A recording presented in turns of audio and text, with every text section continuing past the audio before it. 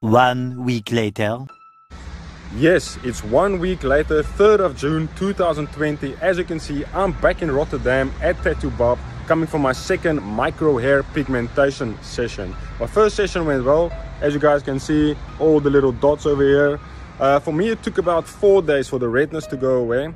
And uh, I'm not too sure what we're going to be doing today. I think we're going to work on density, maybe getting it a bit darker, bringing down the hairline. I'm not sure, but let's go inside and ask the specialist himself. Okay, so I'm inside with my specialist Ralph. What are we going to be doing today? Today we're going to do the same thing. Every time when you're coming back, I'm doing the whole head, uh, the places where he is bald. Uh, the first time he was a little bit afraid that it was going to be too dark or too full or uh, too low. A lot of people have the same uh, thing that they are a little bit afraid of the first session.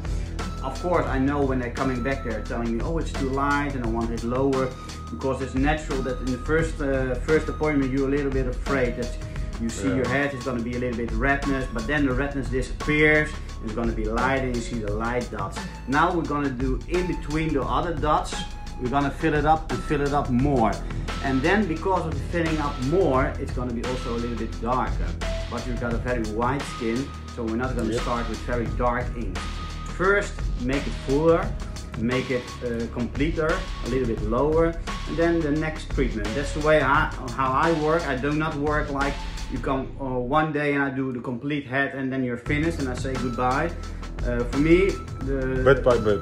Yes, the best thing is how I work. It's my own my own style. This I want to see people coming back every time, and then I can see open spots and open places and filling up exactly what you want and that's how it works. And, and the hairline, we're gonna work a bit on the today hairline. we're gonna do also a little bit lower and then it's gonna be finished and you're gonna take a look in the mirror, let it heal for a few days, the redness disappear and then of course you're coming back again. You for the third session. Yeah, then you say, no, it's good, maybe the hairline. Then we're gonna filling it up more and then you're happy and then your hair is gonna grow and everything.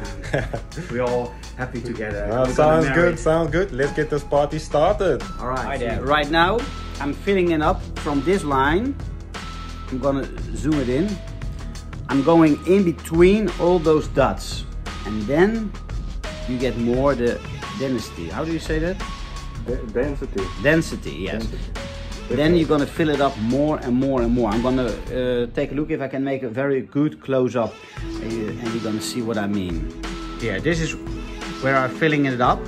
This was from the first time and now I'm going in between all those very tiny dots.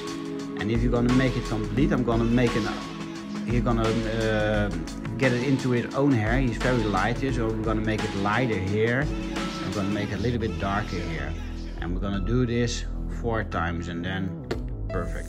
Yes, we're filling it up, filling it up. I've got my own procedure, how I work. I'm not doing it one time, I'm not doing one session, I'm doing four or five sessions and then you have the best results. That's the way how I work. Micro hair pigmentation is not the kind of thing that you can learn in school or a master class or whatever. You have to, the best thing is to have to be an experience, have the experience like a, a tattoo artist. That's the best thing. And we are tattooing already since uh, 60, uh, 86, 1986. My father, Tattoo Bob one of the most famous tattoo artists from the Netherlands. We're one family, all in tattooing. And I'm doing the medical tattooing now for the last years. And actually, micro hair pigmentation is also a medical tattooing.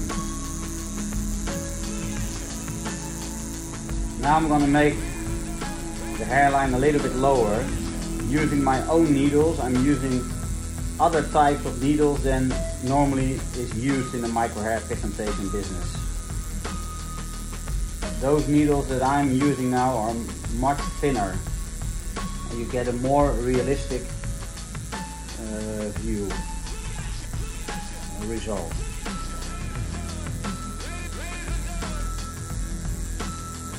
That's what I think.